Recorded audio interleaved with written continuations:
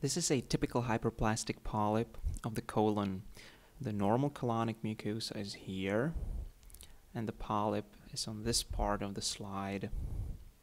It is characterized by serrated architecture of the crypts, and especially upper portion of the crypts near the surface is associated with intraluminar papillary infoldings.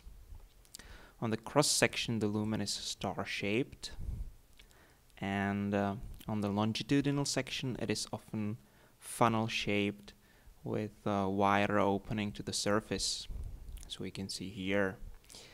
The cytoplasm of the cells are typically hypermucinous especially near the surface and therefore it has very light color.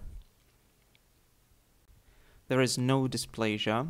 The nuclei are completely normal small, uniform, and basally located. There is no hyperchromasia, atypia, or stratification as in case of adenoma. Uh, hyperplastic polyps are completely benign. Uh, normally they do not progress to carcinoma. However, very rarely they probably can progress to sessile serrated adenoma or polyp, to traditional serrated adenoma and to carcinoma especially when they are large or right-sided. But commonly they are very small, asymptomatic, and completely harmless. So typical hyperplastic polyp of the colon. Thanks for watching.